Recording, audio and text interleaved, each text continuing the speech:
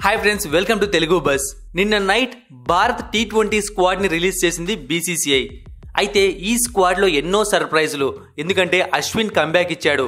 దాంతో పాటుగా ఎంఎస్ ధోని మెంటర్గా టీంకి వచ్చాడు. అయితే కొంతమంది అభిమానులు మాత్రం ఒక తొమ్మిది మంది స్టార్ ప్లేయర్స్ స్క్వాడ్లో మిస్ అయ్యారని బాధపడుతున్నారు. అంటే తొమ్మిది మంది స్క్వాడ్లో ఉండాలని కాదు ఎవరి అభిమానులు వాళ్ళు?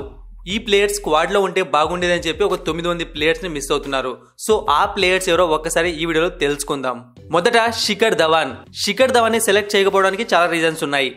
ఫస్ట్ కేఎల్ రాహుల్ టీంలోకి రావడం. ఇంకొకటి కేఎల్ రాహుల్ మరియు రోహిత్ శర్మ మధ్య ఆడింది కొన్ని మ్యాచెస్ అయినప్పటికీ రికార్డు పార్ట్నర్షిప్స్ ఉన్నాయి. ఇక ఇంకొక మెయిన్ రీజన్ ఏంటంటే టీమిండియా ప్లాన్స్ ఎవరికీ తెలియవు. అంటే విరాట్ కోహ్లీ రోహిత్ శర్మ ఓపెనింగ్ చేస్తారా? లేక కేఎల్ రాహుల్ మరియు రోహిత్ శర్మ ఓపెనింగ్ చేస్తారా అని. ఎందుకంటే కేఎల్ రాహుల్ అయితే ఎటువంటి పొజిషన్లో అయినా బ్యాటింగ్ చేయగలడు. కానీ శిఖర్ ధవన్ అలా కాదు. ఓపెనింగ్ మాత్రమే చేయగలడు. ఈ కారణం చేతనే అతన్ని సెలెక్ట్ చేయలేదు అనిపిస్తోంది. ఇక మనీష్ పాండే మరియు సంజు శాంసన్. ఈ ఇద్దరికి చాలా అవకాశాలు ఇచ్చింది బీసీసీఐ అయితే ఈ ఇద్దరు అవకాశాలని అందిపుచ్చుకోలేకపోయారు. ఈ కారణం చేతనే వీళ్ళని పక్కకు పెట్టేసింది. కుల్దీప్ యాదవ్ యుజ్వేంద్ర చాహల్ యుఏలో స్పిన్ పిచ్చెస్ ఉంటాయి.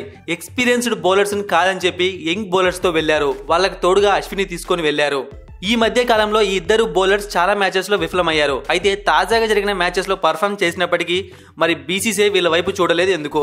మొహమ్మద్ సిరాజ్ టి నటరాజన్.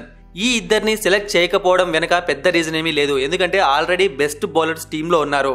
ఇక స్క్వాడ్లో ఎక్కువ మందిని చేర్చలేరు కదా. ఆ కారణం చేతనే వీళ్ళని సెలెక్ట్ చేయలేదు. ఇక కృణల్ పాండ్యా రాకపోవడానికి ఒకే ఒక రీజన్ అక్షర్ పటేల్ స్క్వాడ్లో ఉండడమే. ఇక చివరిగా పృథ్విషా పృథ్వీషన్ సెలెక్ట్ చేయకపోవడానికి పెద్ద రీజన్స్ ఏమీ లేవు. సేమ్ రోహిత్ శర్మ కేఎల్ రాహుల్ లాంటి ఓపెనర్స్ ఉన్నప్పుడు ఇంకొక ఓపెనర్ వాళ్ళు చూడాలనుకోలేదు. ఒకవేళ ఓపెనింగ్ కావాల్సి వస్తే విరాట్ కోహ్లీ కూడా చేయడానికి రెడీగా ఉన్నాడు కాబట్టి. మరిన్ని ఇంట్రెస్టింగ్ వీడియోస్ కోసం సబ్స్క్రైబ్ చేయడం మర్చిపోకండి.